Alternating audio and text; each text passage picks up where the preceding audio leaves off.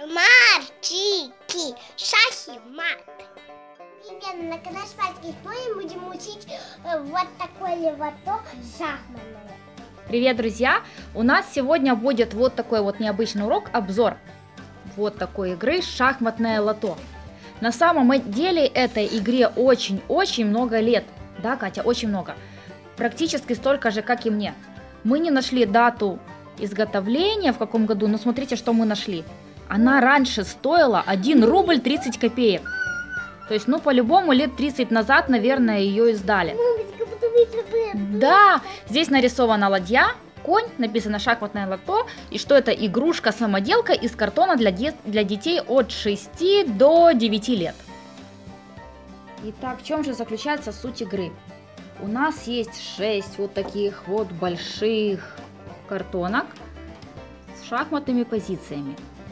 Что же это за позиция? Это позиции, в которых либо белые, либо черные фигуры ставят мат в один ход.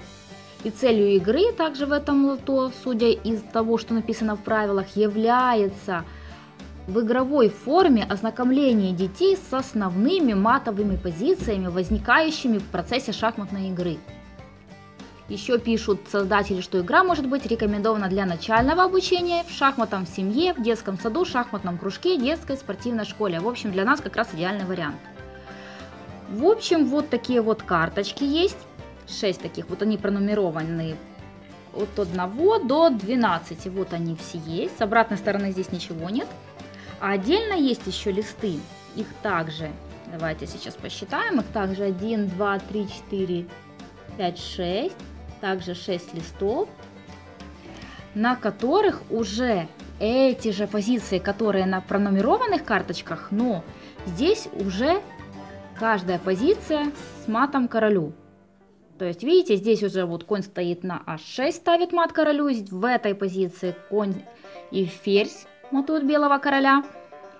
И в чем же заключается сама суть этого лото? То есть, вот эту карточку, все вот эти 6 карточек, их предварительно нужно разрезать.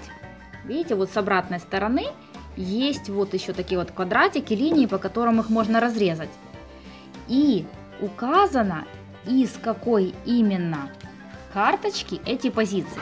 То есть вот карточка номер 12 и позиции. И вот на этой бумажечке, ой, вернее, и вот на вот этой части также указано, что эта позиция с карточки номер 12. В общем, сравниваем, чтобы было понятно. Так, где же у нас здесь одинаковые позиции? Вот, например, берем ферзь на А1, матует короля на поле H8. И вот позиция, которая была перед матом. Король стоял на поле F6, и ему нужно было отойти на поле G6 и таким образом сделать мат черному королю.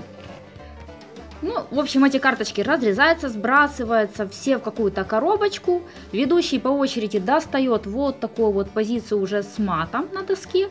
А тот, у кого есть карточка, ищет, нету ли начальной позиции перед матом у него в карточке.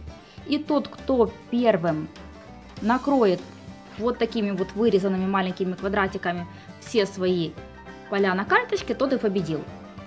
В общем, вот такая интересная игра. Ну, на самом деле, нам еще чуть-чуть рановато. Если у нас Маша еще мат в один ход, конечно, находит, то Катя очень рано, Илюшке тем более.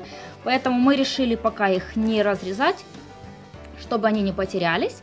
Вот, ну, может быть, там через пару месяцев, может, чуть-чуть дольше, там, к зиме мы уже будем играть полноценно вот в эту игру со всеми детками. В общем, вот такую вот мы находку сделали, даже сами не ожидали. Вот такой вот раритет у нас нашелся. Опять же, повторюсь, я не знаю, сколько ему лет, потому что цена еще стоит 1 рубль 30 копеек. Когда это было, я уже не помню, наверное, до 90-х годов. В общем, идея хорошая. Можно, наверное, даже самому вот такие вот карточки придумать. Может быть, сейчас уже существуют такие игры. Вот такое вот лото. В общем, очень интересная такая вот игрушка. Так что, друзья, если у вас тоже есть что-то вот такое вот интересное еще с тех времен осталось, связанное с шахматами, пишите в комментариях, рассказывайте, снимайте видео. Будем все вместе играть в шахматы. Пока-пока!